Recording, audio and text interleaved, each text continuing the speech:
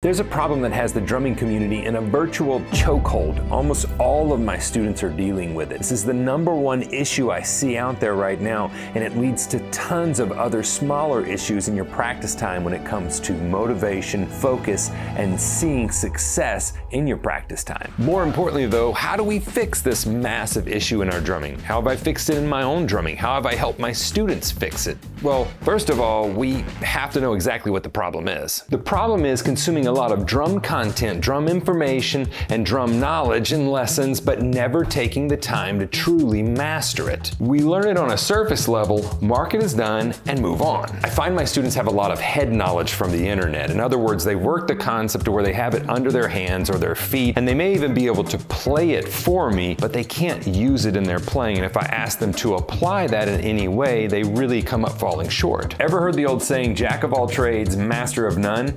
I'm telling you, more drum content, working on more material is not the way to success. The way to success is taking a topic and going as deep as possible, spending a ton of time on that topic and learning how to apply it in your playing. I'm talking take it deep like you're living on the bottom of the ocean. You're down there so long you're considering marrying mermaids. That deep.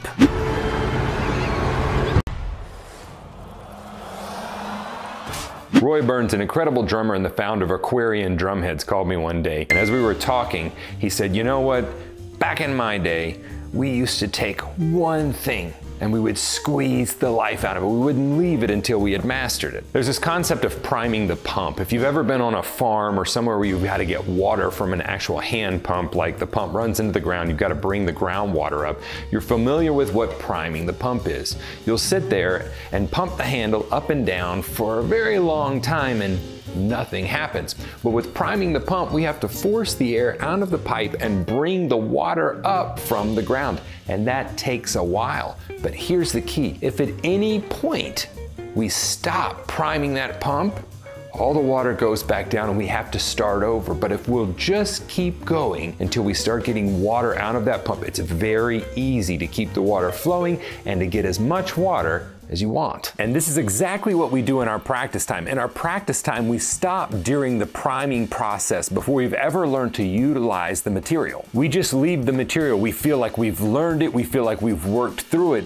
but because we haven't worked through it on a deep level and we failed to integrate it into our playing, we've only half learned it. And the issue with that is this leaves us with the feeling that we've done a lot of work but seen no progress, which in turn leads to lack of motivation, feelings of failure, and making us again turn to more material and trying to ingest that because we think that's the answer. I can think of countless drummers who use simple concepts on deep levels, which means they've taken the time to master that simple concept on that deep level. We've got the Steve Gadd flutter lick, which you can hear variations of this on Rickie Lee Jones' In Love, as well as Al Jarreau's Roof Garden. You've got the Steve Gadd Mozambique pattern. You can hear that on Paul Simon's Late in the Evening as well as countless other songs.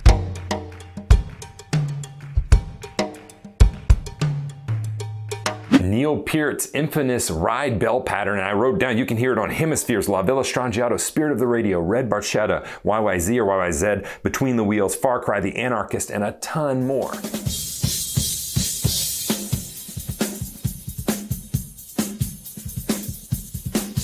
You've got Neil Peart's two-handed ride cymbal hi-hat groove. You can hear that on Red Sector A, the Camera Eye, Subdivisions.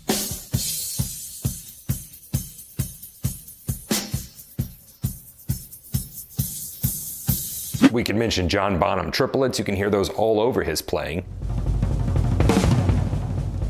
And this applies to other areas of expertise as well. Take a basketball player, Steph Curry. He decided to go deep on three-point shots, and he's almost unstoppable at three-pointers. It's a very simple concept taken deep and applied in very creative ways in his playing. In the book Grit, which dissects expert performers from a variety of fields, they found that these expert performers were methodically working through very simple and basic material and applying it on a very deep level. The more of the material they learned in this very deep deep way, the more they could apply it and integrate it with the other simple, basic material that they've learned at a very deep level, and they can use it in very creative ways. They were in no rush, they made a plan and just did the next logical thing every day in their practice time. And over time, these efforts start to compound. This process, magnified over years and years of work, makes them seem superhuman whenever we see them do whatever it is they're so great at. But they're not. They're just like you and I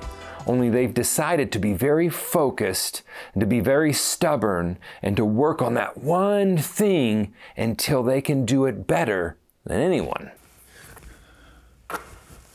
Let me interrupt this just for one second and ask you a question. Have you ever taken 30 days in your drumming and simply focused on one specific thing? How much progress could you make? Well, I'm here to tell you that after 25 plus years of playing professionally, teaching, if you spend 30 days focused on one thing in your drumming, the changes and growth you will see will blow your mind. And for you, I've got a free program. This is 30 Days to Better Doubles.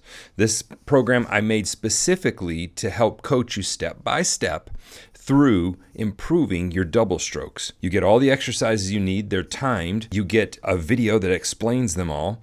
You get a calendar so you can track your progress. You get a checklist. Like everything you need is right there for success. And here's the great thing it takes less than half an hour a day. This isn't some sales pitch. I just want you to commit to one area, focus on it for 30 days. Again, it's free. Follow the link, download it and let me know how it goes. You can always email me, help at stephensdrumshed.com, but this is just a free gift for you. Again, 30 days to better doubles. The full program's there. You don't have to buy a thing. I just want to see you improve.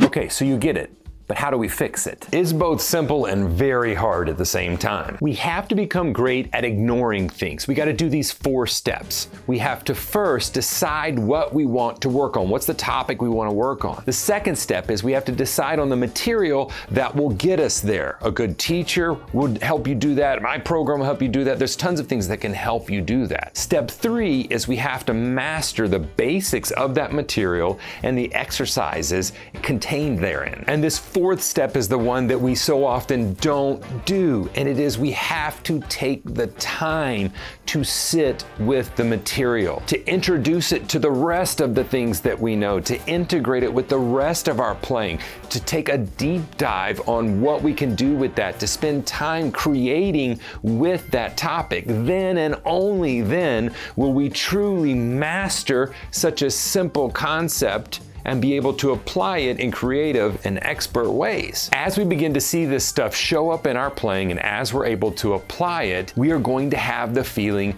of success, the feeling of forward momentum, and that leads to motivation, which leads to us showing up more and working on more material at a deeper level. The question is, are you willing to do the real work? The real work isn't showing up to practice. The real work's not putting in more and more hours. The real work's not working on more and more material. The real work is focusing on one simple piece of drumming material until you can play it in your sleep. It's ignoring all the other shiny objects. It's ignoring all the internal urges to move on because maybe you're a little bit bored ignoring your thoughts about maybe trying to be as good as some other player. It's plugging in regularly and working methodically and intently on a very small amount of material, working in an intentional way over an extended period of time. You do that, and you'll be unstoppable.